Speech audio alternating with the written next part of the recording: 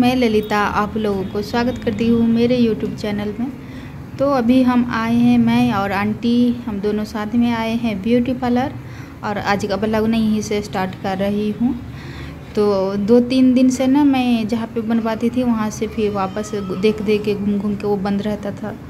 तो फिर वापस आ जाती थी तो फिर मैं फाइनली मैंने आंटी से बात किया और मैंने बोला, आंटी, अगर आपको कहीं पता है ब्यूटी पार्लर जहाँ अच्छा से बनाते हैं ज़्यादा घिस तान नहीं करता है ना वहाँ पे मुझे लेके चलो।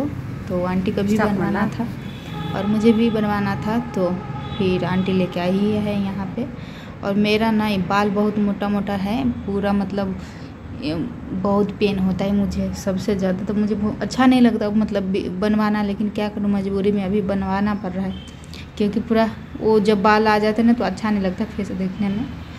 और यहाँ पे आंटी का बन रहा है एब्रो बनवा रही है, आंटी का मेरा हो चुके है। और मैं ना यहाँ पे ये जो दीदी है ना, जो बना रही है तो उनसे मैं पूछ रही थी कि आप भाड़ा पर हो या आपका रूम है, लेकिन वो मुँह में धागा रखी हुई थी। तो फिर बाद में मुझे मेरा ध्यान गया कि मुँह में धागा डाली हुई, फिर भी मैं पूछ रही हूँ उनसे। तो इनको हिंदी आता है और हिंदी अभी नहीं आएगा तो अभी मैं थोड़ा सा मैनेज कर लूँगी। तो बस बातचीत हो रहा है हम लोगों की और हम लोग अपना, ये दीदी अपना भी अपना काम कर रही है और ये एक छोटा सा ही है। उसके बाद हम लोग निकल चुके हैं। पूरा आँख में बाल चला गया तो ही मैं साफ़ कर रही हूँ। यहाँ पे ना रास्ते में, ना इसी गली में आज रामनवमी है तो उस चीज़ का ना, वहाँ, यहाँ पे ना लोग शरबत बांटते हैं, दही का और गुड़ का और मूंग दाल की ना सलाद जैसा। सैलड जैसे बनता है ना वैसे बना के ना लोगों को देते हैं, बांटते हैं। तो सुबह में मैं स्कूल पे, स्कूल आई थी ना इसको लेने के लिए तो वहाँ पे ना पूरा ड्राम भर के, दो ड्राम भर के ना बांट रहे थे। तो इतना सारा मतलब बच्चे बहुत ज़्यादा था तो फिर मैं वीडियो नहीं बनाई। मतलब नहीं हो पाया, बीच में गई, फिर वापस निकल ही नहीं रही थी मेरा मोबाइल मेरा झो, झोला में था तो फिर सोचा, आज मैं आप लोगों को दिखा दूँ, यहाँ पे मौका मिल गया है शाम को, अभी शाम का टाइम है।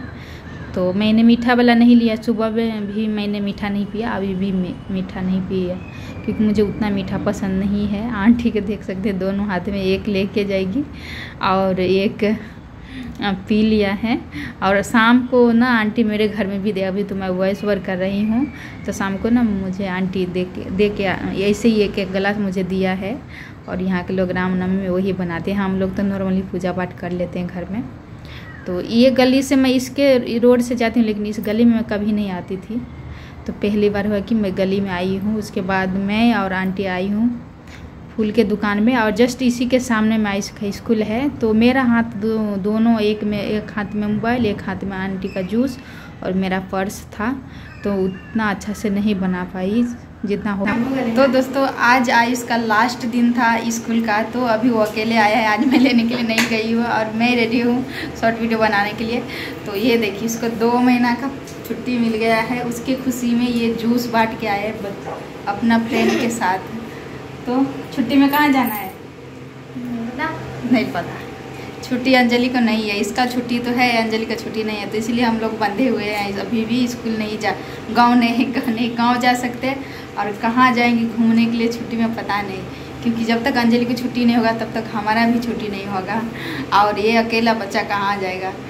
तो देखते हैं अंजलि का कब छुट्टी होता है। और ये देखिए, पूरा इतना धूप है, पूरा पसीना पसीना हो गया है, ये देखिए, पूरा। एक चीज़ और मैं दिखाना भूल गई हूँ। ये देखिए, अपना ना हाथ छिलवा के रखा है, ये तीन दिन हो तीन दिन है चार दिन? दो दिन। दो दिन? हाँ परसों तो भेल चला। अच्छा। तीन दिन हुआ है और ये अपना हाथ अच्छा से छिलवा लिया है पूरा यहाँ पे। तो पट्टी लगा हुआ है खोल देंगे छुट्टी रहेगा ना तो फिर खोल देंगे इसमें हवा मिला हवा लगेगा नहीं तो अभी स्कूल जाते थे ना तो कहीं लग जाता बच्चे लोग हो जाते इधर इधर उधर कर देते तो इसीलिए। और आप लोग वीडियो के साथ बने रहिए देखते हैं क्या क्या होता है। हमारे वीडियो में आगे आप लोगों को क्या देखने को मिलता है। तो हम जा रहे हैं शॉर्ट वीडियो बनाने के लिए।